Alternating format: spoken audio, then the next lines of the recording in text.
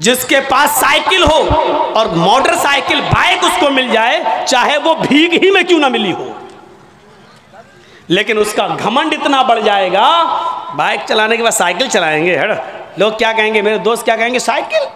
Bike चलाने वाला मतलब भीग में मिली हुई बाइक चला रहा है। वो शर्म महसूस नहीं कर रहा है। जबकि चुल्लू भर पानी में डूब के मर जाना चाहिए उस बाइक पर बैठने से पहले। किस बाइक पर जो भीख में मिली है? समझ रहे हैं ना भीख? अरे जो लड़की के बाप ने दी है, शादी के मौके पर ले, अपने दामाद को बैठ। साइकिल चलाने में शर्म आ रही है, भीख मंगनी गाड़ी पे बैठने में शर्म नहीं आ रही है, जबकि चुल्लू भर पानी में उसी वक्त डूब के मर जाना चाहिए कि किस पे बैठे हैं? ससुर की दी हुई गाड़ी पर। जबकि शर्म की बात ये होनी चाहिए इस पे तो फख्र कर रहा है। कहाँ से? ससुराल से मिली? है ससुराल से? इस पे फख्र कर रहा है, लेकिन साइकिल नहीं चला सकता। क्यों? बाइक चला ली, अब साइकिल नहीं चलाऊँगा। साइकिल चलाऊँगा तो इंसल्ट होगी। अबे, इंसल्ट तो तेरी तब हो तब हो रही है जब तूने ससुराल से मांग ली और भिक मंगनी गाड़ी पर बैठ गया। इंटरनेशनल भिखारी बनकर उसको चला रहा है। ये इंसल्ट तो तब तुझे महसूस करनी चाहिए थी अपनी, लेकिन तब नहीं कर रहा है। अल्लाह के रसूल जब बुर्राक पर बैठे, लेकिन जब ज़मीन पर आए तो आपने घोड़े का भी सफ़र किया, ऊँट का भी सफ़र किया।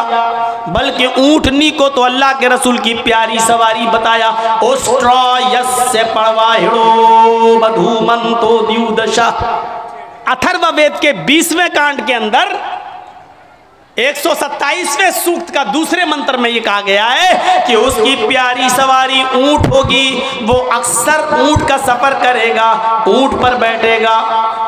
ये उसकी प्यारी सवारी बताई गई है, प्यारी सवारी। यानी ऐसे इलाके में आएगा जहाँ ऊंटों पर सवारी करने का चलन होगा। हमारे भारत में लोग यहाँ इंतज़ार कर रहे हैं, अब आएगा। उसको बताया गया, वो ऊँट वाले जमाने में आएगा। यहाँ लोग फोर व्हीलर में फॉर्चूनर इस्तेमाल कर रहे हैं। यहाँ इंतज़ार कर रहे हैं कि आखिरी नबी यहाँ आएगा यहाँ आएगा।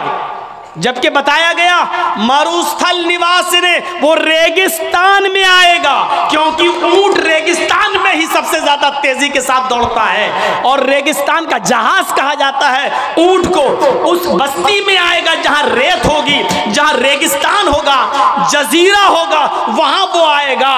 और यह भारत में लोग इंतज़ार कर रहे हैं कि वो भारत में आएगा, जबकि उनकी किताबें कह रही हैं, है, मरुस्थल निवास ने वो मरुस्थल में निवास करेगा। वो मरुस्थल में आएगा।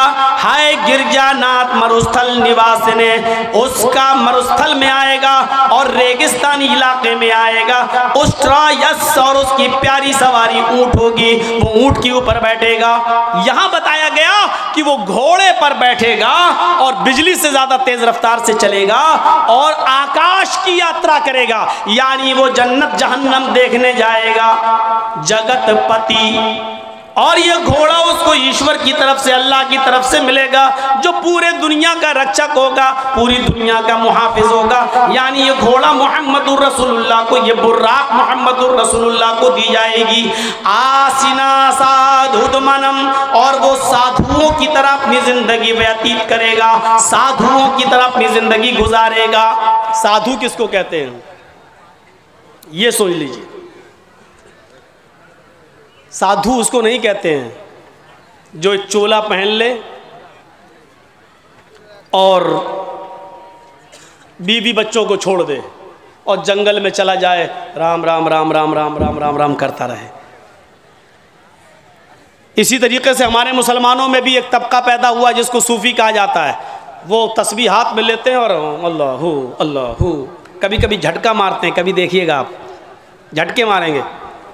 अल्लाह हो अल्लाह हो अल्लाह। हो ऐसे करेंगे। कभी चिमटा ले लेंगे अपने हाथ में। चिमटी, ट्रेनों में मिलेंगे। अल्लाह हो अल्लाह हो अल्लाह। इस तरीके से करेंगे। ऐसा वो महसूस कराएँगे आपको कि हमारे अंदर अल्लाह घुस गया है। अल्लाह हमारे नस नस में है। अल्लाह अल्लाह। वो झटके मारेंगे। ऐसे लोग आपको जहाँ मिलें, इनको उल्टी छुरी से काटो। ये दुनिया के सबसे बड़े हराम खोर लोग हैं। कौम के ऊपर बोझ बने हैं। इनसे पूछो, खाना कहाँ से आएगा? चुप। अल्लाहू अल्लाहू अल्लाहू। एक से मैंने पूछा, भाई, खाना कहाँ? शाम को खाना क्या कर, कहाँ से आएगा? अल्लाहू अल्लाहू। हमने कहा सुन लिया, अल्लाहू, अल्लाह। खाना कहाँ से आएगा शाम को? ये तो बताओ। अल्लाह देगा, अल्लाहू अल्लाहू अल्लाहू। मतलब मोहल्ले वाले उनको खाना पहुंचाते हैं। ये लोग हराम खोर लोग हैं, बीवी बच्चों को छोड़े बैठे। बीवी बच्चों को छोड़कर किसी भी जगह चले जाना, मेरे भाइयों, और इबादत में मसरूफ होना, ये सबसे बड़ा इस्लाम का, इस्लामी दुश्मनी है ये। इस्लाम दीन मतदिल है। मतदिल जानते हो? इस्लाम नमाज़ का हुक्म तो देता है। लेकिन पूरा दिन और पूरी रात मुसल्ला बिछा के नमाज़ पढ़ने की इजाज़त आपको नहीं देता है। इस्लाम आपको रोजा रखने का हुक्म तो देता है लेकिन कंटिन्यू और मुसलसल बारह महीने हर रोज रो, रोजा रखने की इजाज़त आपको नहीं देता है। इस्लाम आपको जक़ात देने का हुक्म तो देता है लेकिन अपना सारा माल अल्लाह की राह में लुटा देना और खुद फकीर बन जाना, गरीब बन जाना इसकी इजाज़त इस्लाम आपको नहीं देता है। इस्लाम आपको हज की इजाज़त तो देता है कि हज कीजिए, लेकिन यह नहीं कहता कि हज करने के लिए तुम अपना घर बेच दो, अपना मकान बेच दो, अपनी दुकान बेच दो, लेकिन हज करो। हज करना, जाना ज़रूरी है, चाहे दुकान बेचना पड़े, चाहे मकान बेचना पड़े, इस्लाम इस बात की इजाज़त नहीं देता है। इसी तरीके से इस्लाम नमाज़ पढ़ने का हुक्म देता है। लेकिन इबादत बच्चों का हक मार कर बीवी का हक मार कर कमाना धमाना छोड़कर, मेहनत और मजदूरी करना छोड़कर, मस्जिदों में, खानकाहों में, जंगलों पर, मज़ारों पर या किसी जगह बैठ जाकर, बैठकर अल्लाह अल्लाह करने की इजाज़त ये इस्लाम नहीं देता है। इसीलिए फरमाया फ़ैदा फंतशरू फिल अर्ज़ फज़लिल्लाह। दिनों में सबसे अच्छा दिन जुमे का दिन है, लेकिन जुमे का दिन भी पूरी की पूरी इबादत का दिन नहीं है। सबसे आला और अफजल दिन जुमे का है, लेकिन जुमे का दिन भी पूरा का पूरा सुबह से शाम तक अल्लाह की इबादत में नहीं लगा सकते हो। जब जुमे की नमाज़ पढ़ लो, जब जुमे की नमाज़ पूरी कर ली जाए फन तशरू तो हमारी ज़मीन में फैल जाओ। वक्त बिन हमने जो रिस्क उतारा है, उसको तलाश करो, मेहनत करो, मजदूरी करो, रिक्शा चलाओ, दुकान पे बैठो, हलाल रोजी जो हमने उतारी है, उसको कमाओ। और अपने बीवी बच्चों को खिलाओ। जुमे का दिन सबसे बड़ा दिन, जुमे का दिन सबसे अफजल दिन, जुमे का दिन सैयदुल अय्याम। तमाम दिनों में सबसे बेहतर, तमाम दिनों का सरदार है। जुमे का दिन, लेकिन इसके बावजूद अल्लाह के रसूल ने पूरा का पूरा दिन इबादत का नहीं रखा है। और क्या फरमाया? जब जुमे की नमाज़ हो जाए, जुमा पढ़ लो तो अब निकलो मस्जिद से। अब मस्जिद में मत बैठो। सुबह अल्लाह, अल्हम्दुलिल्लाह का वजीफा नहीं, तुम्हारी बीवी है। तुम्हारे बच्चे हैं, उनके लिए मेहनत करो। कमाओ, रिक्शा चलाओ, मेहनत करो, मजदूरी करो और शाम तक मेहनत मजदूरी करके कमा कर लाओ और अपनी बीवी बच्चों को खिलाओ। ये भी इबादत है। मेरे प्यारे साथियों, इस्लाम ने आपको सिर्फ़ अल्लाह अल्लाह करने के लिए नहीं भेजा है। तो वो साधु होगा। साधुओं की तरह अपनी ज़िंदगी गुजारेगा। साधु उसको कहते हैं जिसके पास किसी चीज़ की कमी ना हो, न दौलत की, ना ज़मीन जायदाद की, जिसके पास सब कुछ हो, लेकिन उसने अपने ऊपर खर्च ना किया हो, बल्कि उसको गरीबों और मिस्किनों पर खर्च कर दिया हो। साधु किसको कहते हैं? सुन लीजिए। ये साधु नहीं है। ये आप जिनको समझ रहे हैं आसा राम हो, राम रहीम हो, बाबा रामदेव हो, या हमारे यूपी वाले हों ये साधु नहीं है। साधु कहते हैं कि जिसके पास सब कुछ हो, लेकिन उसने अपने ऊपर खर्च ना किया हो, गरीबों और मिस्किनों में लुटा दिया हो। इस साधु की परिभाषा में, इस साधु के इंट्रोडक्शन में सिर्फ़ मोहम्मद रसूलुल्लाह पूरे उतरते हैं। आपके पास किसी चीज़ की कमी नहीं थी, सब कुछ था। आप कुर्बानी करते हैं ना बकरा पर? कितना बकरा कुर्बानी करते हैं? एक, दो गाय की कुर्बानी देते हैं। कितने लोग उसमें हिस्सा लेते हैं? एक गाय में सात। आपने एक हिस्सा ले लोगे, दो हिस्सा ले लोगे, तीन हिस्सा ले लोगे, और क्या? या ज़्यादा से ज़्यादा पूरी गाय कर लोगे? क्या कभी किसी को सुना है कि उसने सौ बकरे कुर्बानी किए हों? नहीं। अल्लाह के रसूल सल्लल्लाहु अलैहि वसल्लम ने सौ ऊँट कुर्बान किए थे। बकर के दिन दसवीं जिलहिज्जा को। कितने ऊँट? सौ। और ऊँट नहीं, सुर्ख ऊँट। अरब के अंदर सुर्ख ऊँट की बहुत कीमत है। जो लोग अरब में रहते हैं, उनको मालूम है, सुर्ख ऊँट बहुत कीमती होता, बहुत महँगा होता है। जैसे आपके यहाँ कोई बकरा, जिस पर, जिसकी खाल पर अगर अल्लाह लिखा हुआ आ जाए, या मोहम्मद लिखा हुआ आ जाए तो उसकी कीमत बढ़ा दिया जाता, बढ़ जाती है। डेढ़ लाख, दो लाख, ढाई लाख। एक मरतबा, मैं मार्केट में गया तो आदमी दिखाने लगा कि उसमें लिखा दिया मोहम्मद लिखा है। हमने कहा, चलिए, होगा, लिखा होगा, चलिए। कीमत क्या है? कहता है, ढाई लाख। मैंने कहा, क्यों? कह लेगा, मोहम्मद लिखा है। मैंने कहा अच्छा ऐसा करो कि बकरा मुझे दे दो जितने का है, खाल में तुम्हें दे दूँगा। है, मैं क्या करूँगा? तो मैंने कहा, मैं क्या करूँगा? क्या इस खाल को हम अपने घर रख सकते हैं? इस पर भी गरीब का हक है। क्या बकरे को जिबा करने के बाद ये खाल हमारी दो लाख में बिकेगी, डेढ़ लाख में बिकेगी? कहता, वो मैं नहीं जानता हूँ, मोहम्मद लिखा है, ढाई लाख का बकरा है। मैंने कहा, मैं कह तो रहा हूँ कि खाल तू बेच देना, जितने की बिके, बकरा दस हज़ार में हमें दे दे, बारह हज़ार में हमें दे दे। कहने लगा, जाइए, मौलाना साहब, आप हमारा रेट क्यों वो कर रहे हो? लोगों ने एक फजूल की बहस बढ़ा दी, इस पर अल्लाह लिखा है तो इसकी कीमत बढ़ गई, मोहम्मद लिखा है तो इसकी कीमत, जिस पर ये चीज़ें लिखी हुई हो, और कम कर दो उसकी कीमत। मेरे भाइयों, किसी हदीस में नहीं आया है कि जिस बकरे पर अल्लाह लिखा हो तो उसको इतने रुपए में खरीदो। और लिखा होता नहीं है, वो हमें और आपको उसका एक नक्श दिखाई देता है। बस, ये अलिफ, बाल, ये लाम पूरी तरीके से देखा जाए तो पूरा लिखा हुआ भी नहीं होगा। उस पर तशदीद बनी होगी, फिर उस पर खड़ा अलिफ होगा, फिर आप पूरी तरीके से अगर देखें तो मिलेगा भी नहीं ऐसा। लेकिन महसूस ऐसा कराएँगे कि देखिए ये अल्लाह। हालाँकि देखा जाए तो ये भी अल्लाह ही है। देखिए, ये भी अल्लाह ही है। अलिफ, ये अलिफ हो गया ना? और लाम कैसा होता है? ये लाम हुआ, फिर एक और लाम हुआ, फिर ये उसके ऊपर का अलिफ और ये है। तो देखा जाए ये क्या है? अल्लाह ही है।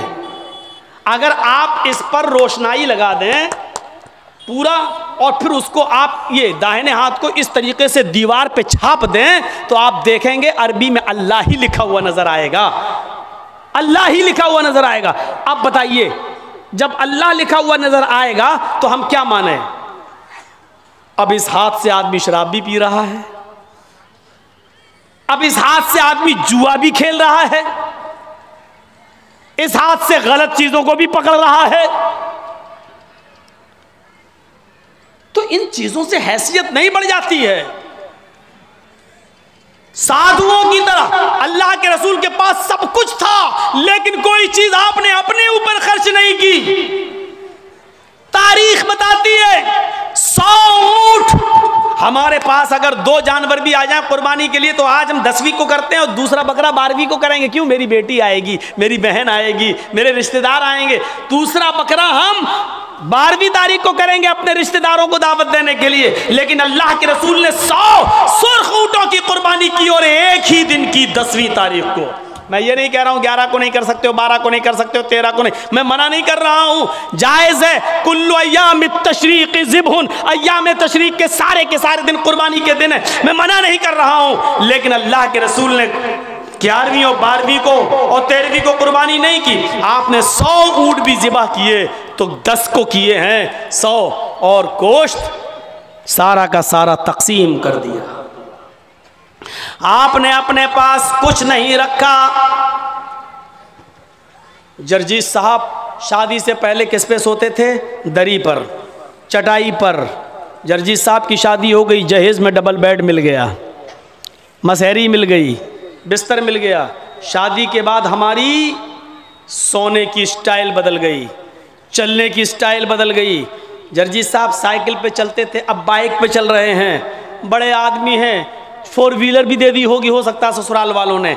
अब चार पहिए की गाड़ी पे चल रहे हैं, रहने की स्टाइल बदल सकती है। लेकिन मोहम्मद रसूलुल्लाह 25 साल की उम्र में, जब 40 साल की एक बूढ़ी औरत खदीजा से निकाह करते हैं, खदीजा अरब की बहुत बड़ी दौलतमंद और रईस खातून थी। जब अल्लाह के रसूल की शादी उनके साथ होती है तो खदीजा अपने साथ सारा माल भी लेके आती हैं, सारा ख़जाना लेके आती हैं, सारा बिज़नेस लेकर आती हैं। अल्लाह के नबी सल्लल्लाहु अलैहि वसल्लम शादी के बाद भी उसी चटाई पर, उसी इकहरे बिस्तर पे सोया करते थे, जो शादी से पहले आप सोया करते थे। आप ताजुब करेंगे, एक बार अल्लाह के नबी सल्लल्लाहु जिस बिस्तर पे सो रहे थे, हज़रत आयशा ने उस बिस्तर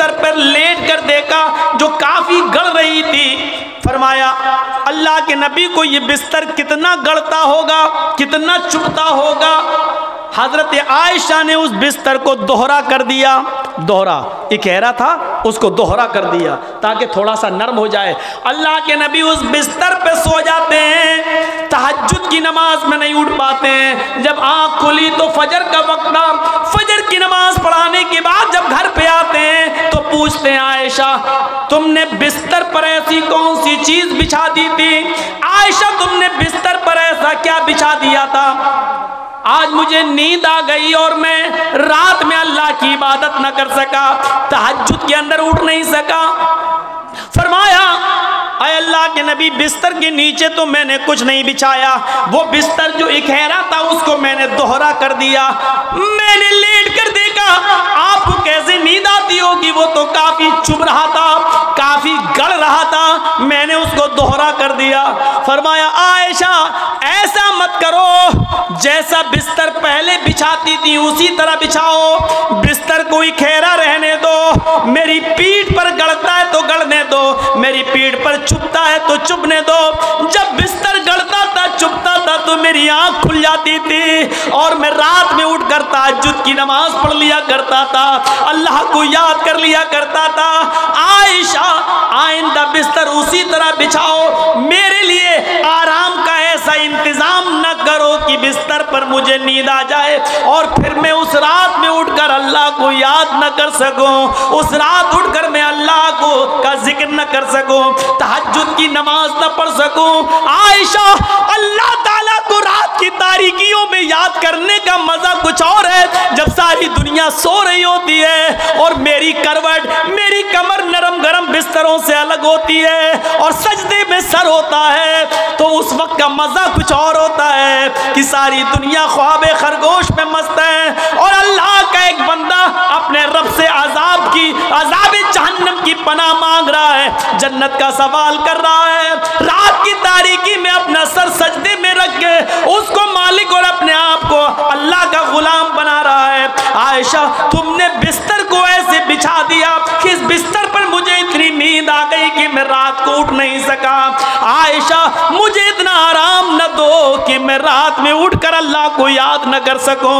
रहने सहने में शादी के बाद भी कोई फ़र्क नहीं आया। यहाँ तो शादी के बाद बिस्तर बदल जाते हैं, रहन सहन की स्टाइल बदल जाती है, रहने सहने का तरीका बदल जाता है, उसमें प्रमोशन हो जाता है, तरक्की हो जाती है। लेकिन मोहम्मद रसूलुल्लाह की ज़िंदगी पे नज़र डालो कि अल्लाह के नबी ने शादी से पहले जिस बिस्तर पे लेटते थे, शादी के बाद भी उसी बिस्तर पर, जबकि खदीजा की दौलत नबी के कदमों पे थी, लेकिन अल्लाह के नबी ने खदीजा की दौलत को अपने ऊपर इस्तेमाल नहीं किया।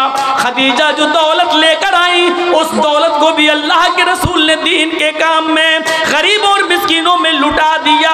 मेरे भाइयों, हमें देखना है कि साधु कौन है। साधु उसको कहते हैं, जिसके पास सब कुछ हो, दौलत की कमी ना हो, लेकिन उसने अपने ऊपर कोई चीज़ खर्च न की हो। सब गरीबों और मिस्किनों में लुटा दिया हो। इस तारीफ़ का सही हकदार सिर्फ़ जनाब मोहम्मद रसूलुल्लाह सल्लल्लाहु अलैहि वसल्लम है। आपके पास किस चीज़ की कमी थी? लोग कहते बहुत गरीब थे, ये थे नहीं। अल्लाह के रसूल से ज़्यादा कोई अमीर था? अल्लाह ने कहा था, कहो तो इस पहाड़ को हम सोने का बना दें, और ये ओहद पहाड़ जब सोने का बन जाए तो जहाँ आप चलें, ये पहाड़ भी आपके साथ चले। लेकिन अल्लाह के नबी ने, अल्लाह ताला के इस फरमान को, इस गुजारे, अल्लाह ताला के इस हुक्म को नाफिज होने के बाद मना कर दिया कि नहीं नहीं आए अल्लाह, मुझे दुनिया में आराम नहीं, सोना नहीं चाहिए, चांदी नहीं चाहिए, बल्कि आपने फरमाया अल्लाह फ़ी हयाती मिसकीना। आए अल्लाह, दुनिया में मुझे जितने दिन ज़िंदा रख मिसकीन बना के ज़िंदा रखना। आए अल्लाह, जब मुझे मौत आए तो हालत मिसकीनी में मुझे मौत आए। और अल्लाह, कल क़यामत के दिन जब मैं उठाया जाऊँ तो फ़कीरों में और मिसकीनों ही में मैं उठाया जाऊँ। ये अल्लाह के रसूल की दुआ थी, जबकि अल्लाह ताला तो ओहद पहाड़ को सोने का बनाने के लिए तैयार था। नबी अकरम जहाँ चलते, पहाड़ आपके साथ साथ चलता, लेकिन अल्लाह के रसूल ने पहाड़ को सोने का बनाने से मना कर दिया और कहा कि मुझे दुनिया के ऐशो आराम नहीं चाहिए। हज़रत अब्दुल्ला इब्ने उमर ने बिस्तर पर लेटकर देखा तो कहा, अल्लाह के नबी ये क्या है? जब अल्लाह के नबी उस बिस्तर पर सो के उठे तो देखा कि उस निशान पड़ गए। आप किसी खुरदुरी चटाई पर लेटिए, नंगी पीठ। जब आप उठेंगे तो चटाई के निशान आपकी पीठ पर पड़ जाएँगे। अल्लाह के नबी की पीठ पर जब निशान पड़े तो हज़रत अब्दुल्ला इब्ने उमर ने जब ये देखा तो चीख पड़े, आए अल्लाह के रसूल, आप तो नरम गर यहूद नसारा तो नरम गरम बिस्तर पर सोए और आप जो हैं, ऐसी चटाई पर, ऐसी चटाई पर जिससे आपके निशान पड़ जाएँ। नहीं नहीं, आज के बाद आप नरम, आप इस चटाई पर नहीं सोएँगे। आपने कहा, फिर लकवतान आज हम आपके लिए एक नरम गरम बिस्तर बना देंगे। नरम गरम गद्दे का इंतज़ाम कर देंगे। आप उसके ऊपर सोना। अल्लाह के नबी सल्लल्लाहु अलैहि वसल्लम ने फरमाया, नहीं, आए अब्दुल्ला मेरे लिए नरम गरम बिस्तर का इंतज़ाम मत करना। माली वाली दुनिया माना फिद दुनिया इल्ला करा की बिनिस्तजल्ला तहत शजरा। तुम मराहा नहीं नहीं, आए अब्दुल्ला मेरे लिए नरम बिस्तर नहीं, मैं तो इस दुनिया में एक मुसाफिर की तरह हूँ। जैसे मुसाफिर थक जाता है तो एक सायादार दरख्त के नीचे आराम करने के लिए बैठ जाता है। थोड़ा पानी पीता है, सस्ताता है और फिर उठ के चल देता है। मैं भी इस दुनिया में एक मुसाफिर की तरह हूँ। चंद दिन रहूँगा और फिर ये दुनिया छोड़ के चला जाऊँगा।